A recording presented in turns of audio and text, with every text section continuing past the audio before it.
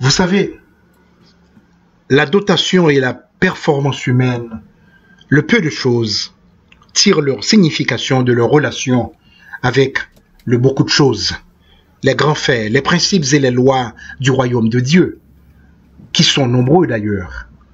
L'activité la plus persistante et la plus variée et les plus grandes, réalisations, disons, des plus grands hommes ne sont que, que de petites choses en soi. Mais ce sont des points où la vaste économie du royaume de Dieu, ce qui est vaguement indiqué d'ailleurs par beaucoup de choses. La joie du Seigneur apparaît dans la région de notre vie humaine et y touche. Ce qui est hors de vie est de plus en plus grand, de plus en plus important que ce qui nous pousse à le voir. Pour le zéologue, ce point de rocher qui s'élève du flanc de la colline n'est pas seulement une pierre distincte.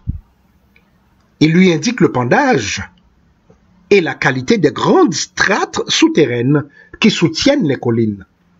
L'obéissance, la responsabilité, le devoir, le travail, l'amour, la confiance, tout ce qui fait la vie chrétienne sont les côtés et les manifestations de l'univers invisible et spirituel.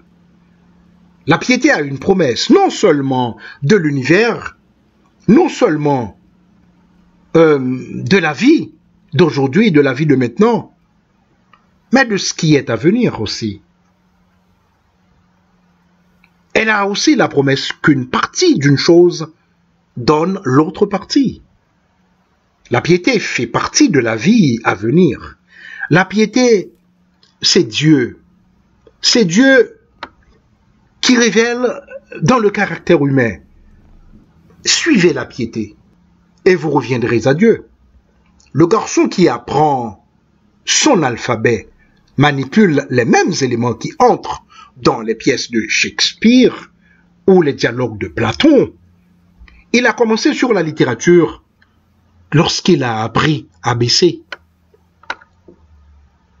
Et nous, nous apprenons les ABC de la vie dans la Bible, à travers la parole de Dieu. Mes amis, c'est une petite chose en soi pour lui, pour ce petit garçon, d'apprendre 26 lettres de l'alphabet. Mais c'est une grande chose lorsqu'on considère l'alphabet comme le moyen de la pensée du monde.